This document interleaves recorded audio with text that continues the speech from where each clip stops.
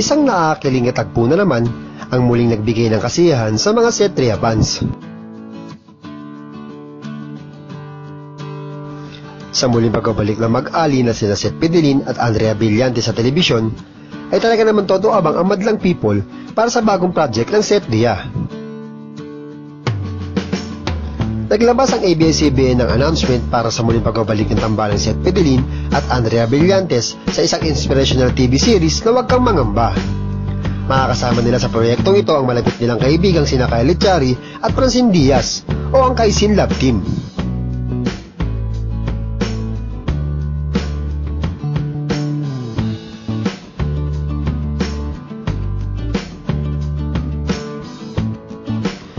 Paghahanda ng mag-ali ay si Sparta ng dalawa na sabay pumunta sa ABS-CBN.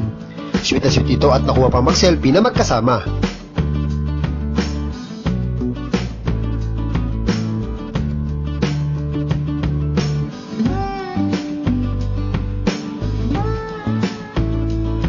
Spotted din ng dalawa na sabay nagpunta sa isang salon kung saan sabay nagpaayos ng kanilang buhok ang mag-ali.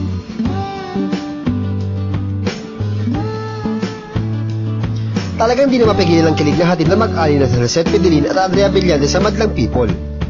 Kaya naman ating suportahan ang Seth Ria sa muling pagbabalik ito sa telebisyon.